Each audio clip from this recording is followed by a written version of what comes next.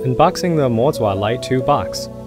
On the first layer, there are user manual, quick start guide, MOZA Lite 2 gimbal, camera mounting plate, top handle, intelligent battery, battery charger, and wireless thumb controller. On the bottom layer, there's a stand, handlebar, cables, and a tool bag.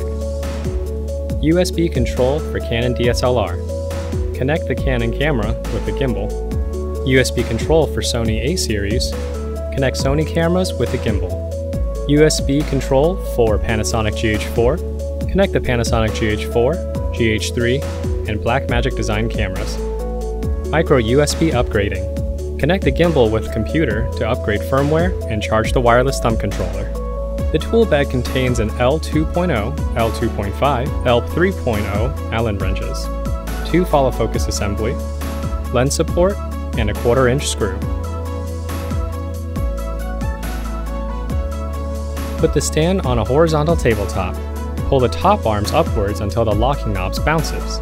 Pull the upper arms outwards till the lower legs expand to the maximum. Loosen the locking knob on the upper arms to stretch the stand then tighten the locking knob. Place the handlebar onto the stand, turn downwards the side handle 90 degrees, and then tighten the lock knob.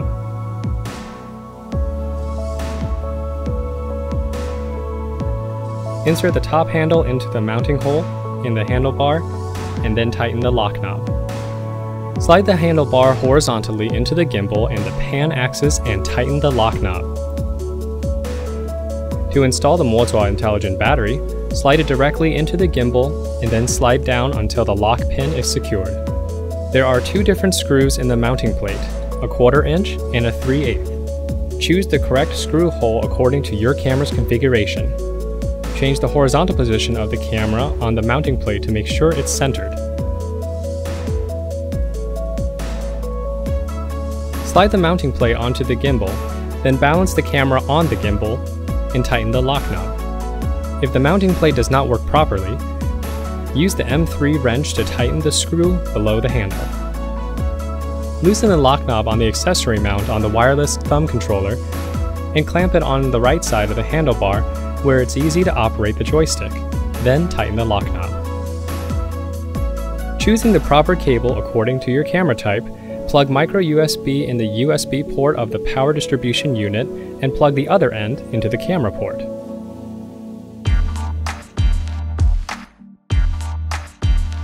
To balance the tilt axis, first rotate the camera lens 45 degrees upwards or downwards to make sure the camera keeps level.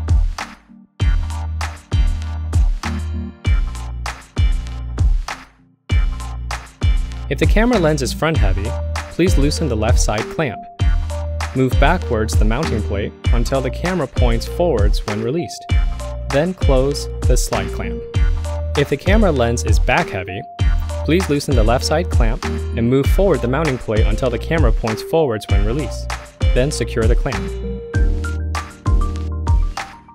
If the camera can't stay in the position where you're rotated, loosen the two lock knobs and slide the camera up on the vertical bars. Tighten the lock knobs. If the measurement marks is excessively high, the camera will rotate down to the gimbal. Please slide the camera back down on the vertical bars and then tighten the lock knobs. When proper balance is achieved, you can rotate the camera to any tilt angle and it will stay in that position. When the tilt axis is balanced, you can start to balance the roll axis. Loosen the two lock knobs to the side of the camera's left or right. If the camera is too heavy on the left side, please move right until the roll axis remains level.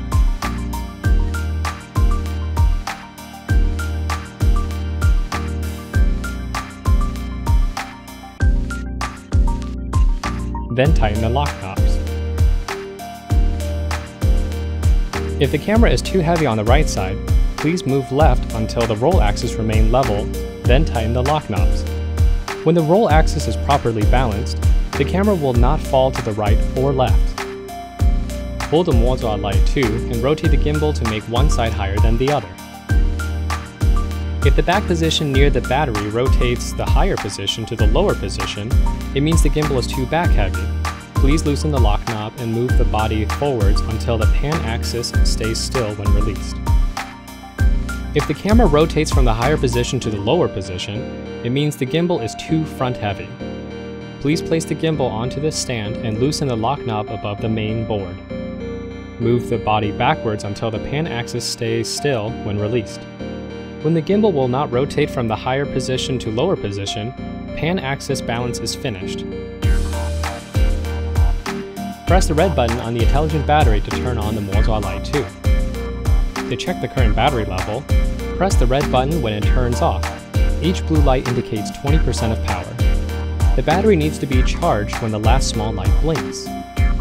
If all five lights blink after a long press and no power is being supplied to the gimbal, you need to charge the battery immediately.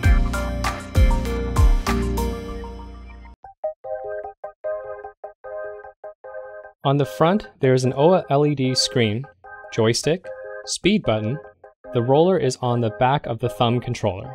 The OLED screen interface can display the connecting state, gimbal battery level, thumb controller battery level, recording state, focus speed, gimbal speed, and follow mode. The signal icon shows the connecting state. There will be an X above the signal icon when connecting fails. The battery icon is in black when fully charged.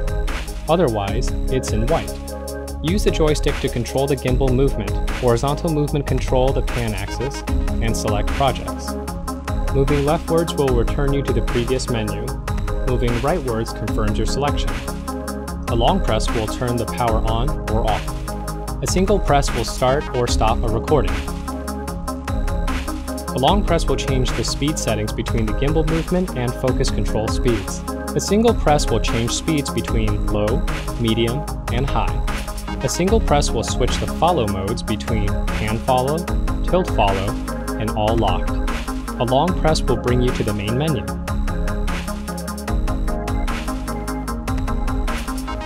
It is necessary to pair the MOZA with a thumb controller when you change the thumb controller or MOZA gimbal. Long press option to enter the menu. Then, choose pair and move the joystick rightwards to enter the secondary menu.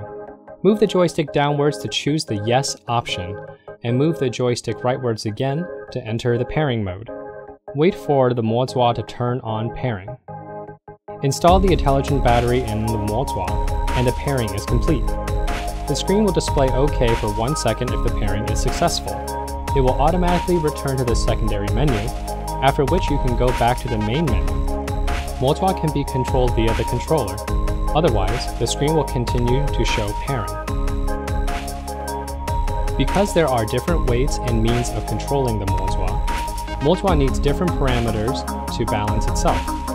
After choosing a type of camera, the corresponding parameters must be saved to the MOZA.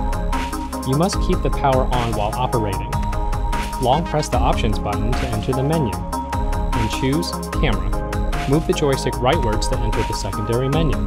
In this menu, there are various types of cameras. Move the joystick vertically to choose the camera type. Move rightwards to enter the third menu, where you can choose the weight of your lens. The weight of your lens is divided into three levels, ultralight, light, and heavy. Choose the option that corresponds to your lens weight and move the joystick rightwards. The screen will display OK for half a second. It will display Camera ERR if you choose the wrong type of camera. If this happens, please check the connections between MOZA and the thumb controller, and then try again. Long press the Options button to enter the menu. Move the joystick downwards to choose the follow speed. Move the joystick rightwards to enter the speed menu. Vertical movements of the joystick to choose the speed level, low, medium, high if you want. Then move the joystick rightwards to save your choice. The OLED display will show OK after saving successfully. Move the joystick upwards, downwards, rightwards, and leftwards to control any one of the gimbal's axes. The operation modes can be set freely by custom. Long press the Options button to enter the menu. Move the joystick downwards to choose Habit. Then, move the joystick rightwards to enter the list of custom hardware. Choose Joystick, and then move rightward. Up-down represents moving the joystick upwards or downwards. Left-right represents moving the joystick leftwards or rightwards. Left-right is also used to remap the left and right of the joystick.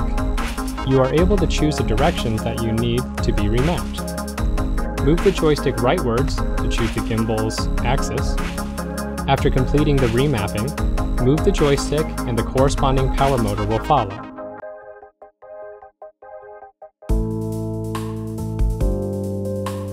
The MOZA Lite 2 has pan mode, tilt mode, pan and tilt mode, all lock mode.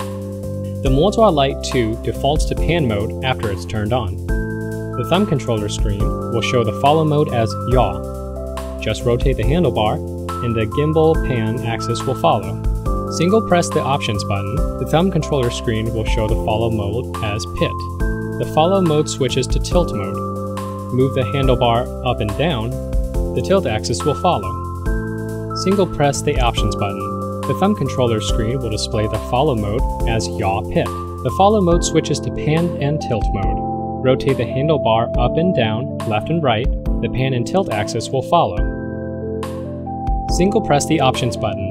The thumb controller screen will display the follow mode as all lock. The follow mode switches to all lock mode. Rotate the handlebar up and down, or left and right, the pan and tilt axis will remain in a fixed position. Single press options again, it goes back to the pan mode. There are three operation modes, underslung mode, briefcase mode, and upright mode. The underslung mode is the standard mode, you can hold the handles with both hands or grip the top bar with a single hand. This mode is convenient for picking up and storing the gimbal on the stand as well as for operating the wireless thumb controller. To enter briefcase mode, start with the MOZA Lite 2 in the underslung mode. Then, rotate it upwards by 90 degrees until the tilt axis stands on the pan axis. Next, rotate one handlebar by 90 degrees so that the handlebars are right on top of one another. Briefcase mode reduces the gimbal to its smallest size, making it perfect for shooting in narrow spaces.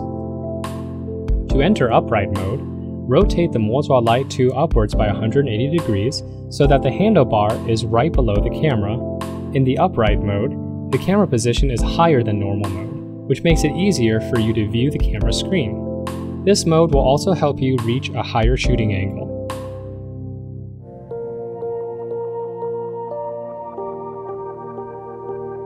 The MOZA Assistant for Windows and Mac systems helps you adjust parameters and upgrade the firmware. After turning on the MOZA Lite 2 and plugging in the USB cable, the MOZA app will open the interface for adjusting parameters such as sensor calibration and parameter tuning.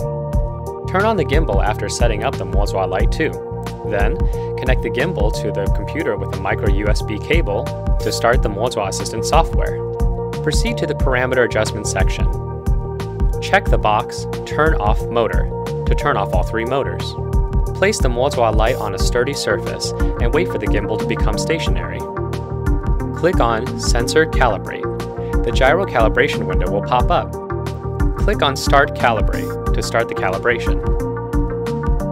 After the calibration is complete, the MOZA Assistant will show Calibration OK. Now you may restart the MOZA. Click Exit to close the gyro calibration pop-up window and exit the calibration state. Place the MOZA Lite 2 back on the stand, uncheck Turn Off Motor, and click the Save button. Then, restart the MOZA Lite 2. Remember, the motors will not work properly if you save the data without unchecking Turn Off Motor. You are allowed to adjust other parameters that best suits your gimbal. After you make an adjustment, click the blank space on the interface or click Enter.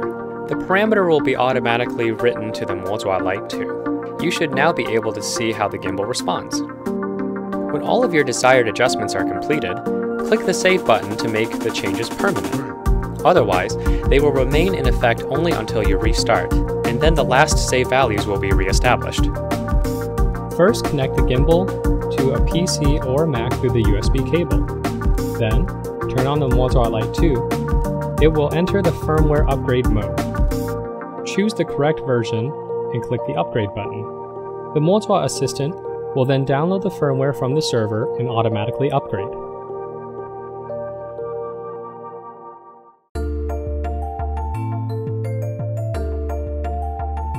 First, install the lens support and make sure the gimbal is well balanced. Then, turn on the MOZA Lite 2. Next, choose the correct camera and lens type via the thumb controller. Finally, use the MOZA Assistant software for Windows or Mac to adjust the parameters and lower the motor power. You cannot balance the gimbal when the camera is excessively high.